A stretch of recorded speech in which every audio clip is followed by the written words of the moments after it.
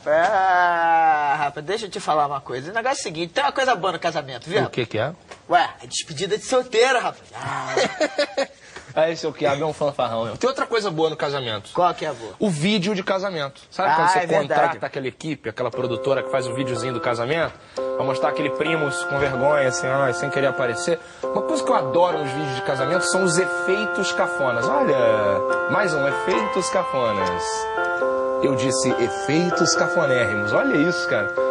Olha que cafonice. Por que, que o nego faz isso com a tela, cara? Vamos falando dos casamentos, porque tem também é, casamento que não é um casamento tradicional. Viadagem, que é um casamento, um casamento alternativo. Já viu casamento de hippie? Que hippie se casa numa praia, descalço, de bata, com um amigo de padre. Sabe esse tipo de coisa assim? Ah, rapaz, isso é coisa de louco isso aí, rapaz. Essa coisa de louco isso aí, né, rapaz? Agora tem- temos é, um, um e-mail aqui da Andreia Pereira, assim, Andreia, porque depois da reforma é Andreia, né?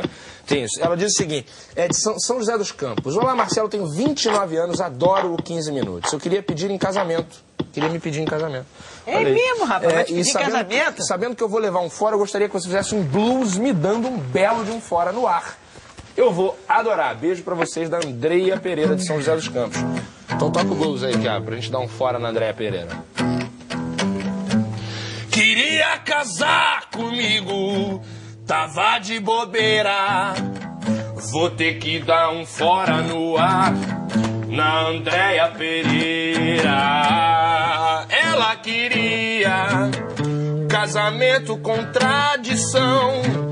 Mas o que eu vou dar para ela é o efeito do vídeo de coração. Agora, é isso aí que você ganhou.